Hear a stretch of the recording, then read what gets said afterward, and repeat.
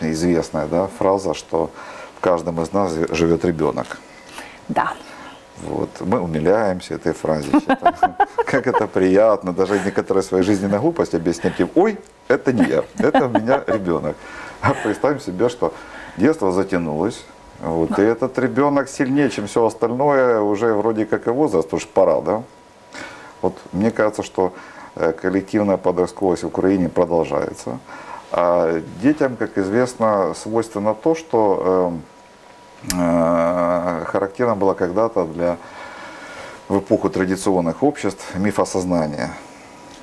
Э, украинское общество вообще очень предрасположено к мифотворчеству и мифодизайну в силу своего специфического устройства и в силу того, что вот этот тонкий слой модерна, который э, сформировался за 20 век, сейчас, э, мне кажется, окончательно рухнул. Но дело не только в этом. Огромную роль в этом сыграла современная очень быстрая динамичная глобализация и современный медиамир, в котором возник такой феномен, как медиакратия, которая научилась э, работать с э, инструментом мифодизайна уже как технологией.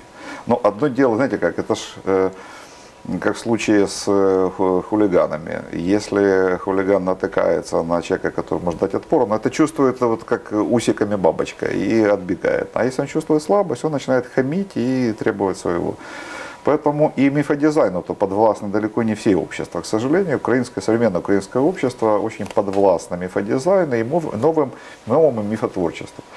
С другой стороны, мы же говорим сейчас не о э, каких-то спекуляциях и обманах. Мы говорим о том, что э, наше общественное состояние, состояние нашего сознания, массового, индивидуального, подвержено и работает в рамках тех архетипов и культурных кодов, которые характерны для доиндустриального сознания. Вот возник такой феномен, который я сейчас определяю э, как э, постмодернистское средневековье.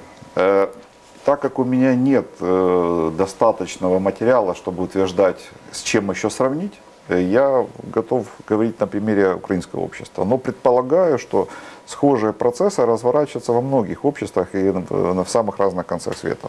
Давайте Наверное, разбираться. Наверное, нам, с- на- на- нам с этим стоит еще разбираться. Ну, для того, чтобы мои рассуждения или выбить, я приведу только э, один пример. Э, Не случайно эпоха Марвел, комикс восприятия и новых сказок в э, сфере художественной. Это, это не глупость, это не дань времени. Это не только потому, что э, э, художники, э, владеющие компьютерной графикой, вдруг на- начали чем-то удивлять. Это еще и потому, что мы это начали потреблять.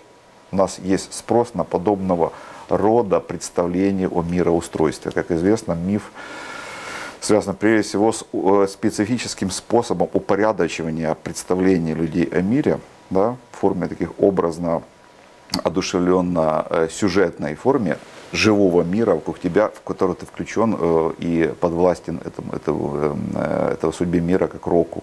Но с другой стороны, это что? Это герой, антигерой или там что это, добро и зло? Вот, вот в такие, Да, такие да. категории все это У- у- вмещается. У, каждой, у каждой культуры формируется, естественно, своя история, да, и э, культурное кодирование разнообразных представлений о устройстве мира, о силах, их именах. У нас есть тоже свое наследие, которое давно может быть забыто буквально в именах, но не всякий украинец, наверное, вспомнит, например, славянских богов. Но дело же не в именах, а в том, что отражено в практиках на протяжении столетий, которая воспроизводится в нашей повседневности. И э, учитывая, что ломает вот эту э, мифоформу жизни только рациональный модернизм, Украина очень быстро избавилась от э, вот этого наслоения э, за последние годы. И мы имеем дело с новым состоянием общества, в котором, оказывается, не укореняются политические идеологии, плохо функционируют институты, которые нам там так нравятся по развитым модернистским, постмодернистским обществам Запада. Но почему-то живут и процветают все то, что связано с доиндустриальным миром. Я когда-то зло пошутил, что Укра- Украина, по-моему, готова даже к созданию министерства по гаданию пророчествам. Посмеются, но оно будет работать. Более того, это будет самое популярное, а в перспективе более богатое министерство, чем Министерство обороны. Ну, потому что... Издеваетесь вы просто. Нет, я к этому отношусь серьезно. Э, Потому что только благодаря такому подходу можно найти язык для объяснения того, что с нами происходит вот в этот важный выборный, поствыборный период.